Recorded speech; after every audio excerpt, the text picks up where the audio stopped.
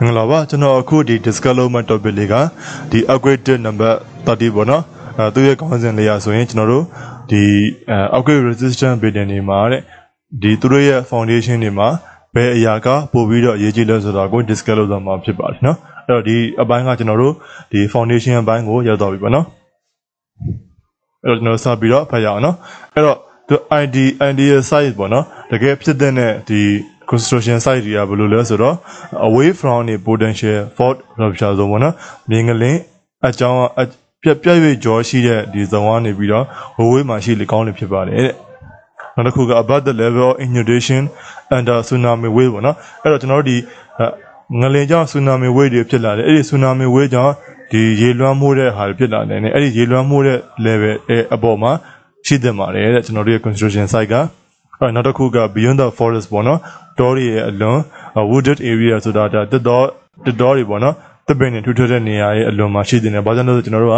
အာဒီငလင်လောက်တဲ့ငလင်လောက်ပြီးတဲ့အခါမှာတဲ့ fire hazard လို့ခေါ်တဲ့ဒီတောမီလောင်တဲ့ပြဿနာတွေကဖြစ်လာနိုင်လို့ဖြစ်ပါတယ်တဲ့။နောက်တစ်ခုကျွန်တော်တို့ဒီ upgrade ကြောင့်ဖြစ်တဲ့ liquefaction တို့နောက် sediment တို့ lateral spreading တို့ပေါ့နော်ဒီ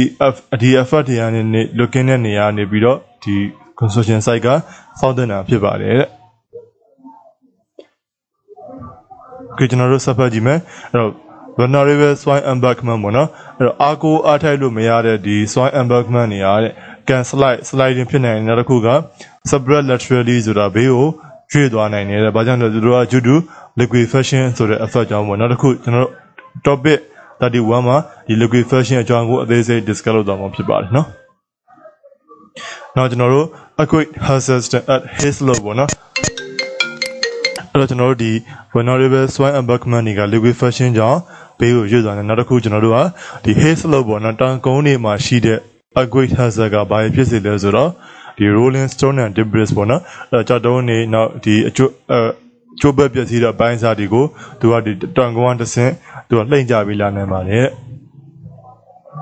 နောက်ကျွန်တော်တို့ဒီ when the ground shake underneath building with elongated ပဲလေနော်အဲ့တော့ကျွန်တော်တို့ကဒီ building shape တွေကအရင်ကရှေးမြောင်မြောင်ဖြစ်နေတဲ့ဒီ shape တွေရဲ့အောက်မှာဒီငလင်လောက်ခဲ့မယ်ဆိုရင်တဲ့ motion and different support တူတူနဲ့ကျွန်တော်တို့ differential settlement ဖြစ်တတ်ပါတယ်နော်ဒီအောက်မှာပေါ့နော်အဲ့ elongated ဖြစ်လေလေကျွန်တော်တို့ကဒီ point to point နဲ့ to point ရဲ့ settlement point မတူတဲ့အခါမှာတို့က differential settlement ဝင်လာနိုင်ပါတယ်နောက်ကျွန်တော်တို့ဒီ ground response နဲ့ was amplified by up to 7 to 8 times ပေါ့နော် by bidding site located on lake bed ပေါ့နော်ကျွန်တော်တို့ဒီ lake bed ဆိုတာဘာလဲကျွန်တော်ဒီပုံမှာကြည့်လို့ရတယ်အဲ့တော့ဒီ site နှစ်ခုပေါ့နော်ဒီအစိမ်းရောင် site နဲ့ဒီလေမွေရောင် site ပေါ့နော် SCD site ကကျွန်တော်တို့ဒီကန်ရီရဲ့ဒီအသစ်ဖို့ထားတဲ့ဖို့မြေပေါ်မှာရှိတယ် Union site ကတော့ဒီ UNM site ကတော့ရိုးရိုးဒီ ground ပေါ်မှာရှိရပါတော့။အဲ့တော့ဒီနှစ်ခုကိုကျွန်တော်တို့ဒီငလင်လောက်တဲ့အခါမှာတဲ့သူတို့ရဲ့ဒီ amplitude တွေကို ဒီတိုင်းကြတဲ့အခါမှာ acceleration တိုင်းကြတဲ့အခါမှာဒီ UNAM site ပေါ်မှာကဒီလောက်ပဲရှိတယ် SCD site မှာ lake web ပေါ်မှာရှိတဲ့ဒီ site ပေါ်မှာက amplitude တွေ9ဆ8ဆအထိတက်သွားတာကိုတွေ့ရပါတယ်တဲ့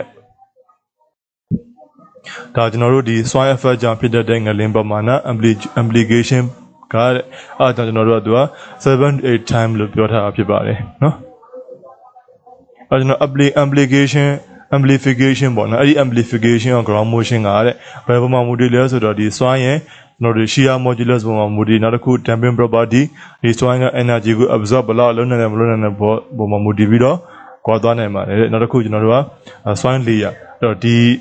အောက်မှာသူ့အောက်မှာရှိတဲ့မြေကြီးရဲ့ဒီ soil layer တွေပုံမှာမူတည်တယ်အဲကျွန်တော်ဒီ saturated ဖြစ်သလားဒါမှမဟုတ် dry swan ဖြစ်သလားပေါ့နော်အဲ saturated ပြင်ပို့ပြီးတော့ amplification ပို့ပြီးတော့များမယ် dry swan ဖြစ်ရင် amplification factor ပို့ပြီးတော့နည်းမှာဖြစ်ပါတယ်နော်နောက်ကျွန်တော်ဒီ loose versus dense ပေါ့နော် loose swan ဖြစ်သလားဒါမှမဟုတ် dense swan ဖြစ်သလားပေါ့နော်โอเคเนาะအဲ့တော့ကျွန်တော်တို့ဒီအဲ့တော့ဒီ step swine တွေမှာ have lower amplification ပေါ့เนาะအဲ့တော့ဒီကြက်လက်သိသေးတဲ့ swine တွေမှာတဲ့ဒီ soft swine တွေတဲ့ဒီနှိမ့်နဲ့ amplification ပို့ပြီးတော့နှိမ့်ကြပါတယ်တဲ့ ကျွန်တော်ကဒီ concept of foundation engineer တွေမှာဆိုရင်ကျွန်တော်တို့တွက်ခဲ့တဲ့ bearing capacity နောက်တစ်ခုက settlement criteria ဒီနှစ်ခုလုံးကလည်းကျွန်တော်တို့ဒီ equate နဲ့ပဲသက်ဆိုင်သွားပါတယ်တဲ့နောက်ကျွန်တော်တို့ဒီ in addition to uh traditional standard and goal penetration test ပေါ့နော်အဲ့တော့ကျွန်တော်တို့ပုံမှန်လုပ်နေကြအဲဒီ CPD လို့ကျွန်တော်တို့ဒီ standard penetration test ဆိုတဲ့ SPD test တို့အပြင်နဲ့ shear weight velocity test နောက်တစ်ခု pressure meter test အဲ့နှစ်ခုလည်းကျွန်တော်တို့ကစမ်းသပ်ပါတယ်လို့သူကဆိုလိုထားပါတယ်ပြီးကျွန်တော်ဒီတကယ်လို့ဒီကျွန်တော်တို့ building အောက်မှာရှိတဲ့ swine type က hard ပေါ့နော်ဒီမာတဲ့ကြော့ swine ဖြစ်ခဲ့မယ်ဆိုရင် isolated fooding တွေကဒီ uh, may suffice under individual column နဲ့အဲ column တစ်ခုချင်းစီအောက်မှာ isolated fooding နဲ့ကျွန်တော်တို့ကဒီ building weight ကိုထမ်းလို့ရနိုင်ပါတယ်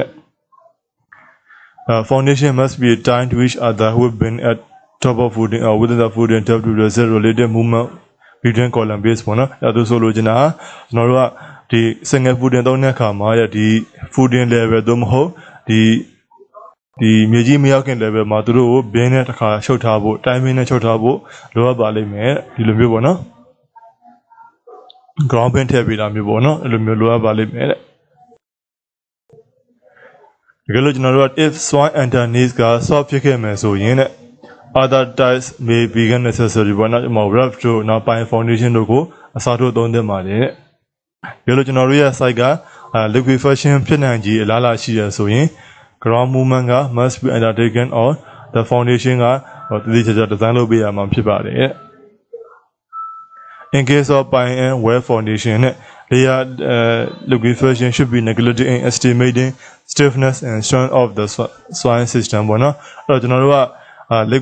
ဒီဒီပိုင်နေလောက်ခဲ့တဲ့အခါမှာကျွန်တော်တို့ကဒီပိုင်ရဲ့ဒီ soil soil ရဲ့ဒီပိုင် capacity တွက်တဲ့အခါမှာ soil layer တစ်ခုချင်းစီရဲ့ဒီ friction ကိုကျွန်တော်တို့ကယူပြီးတော့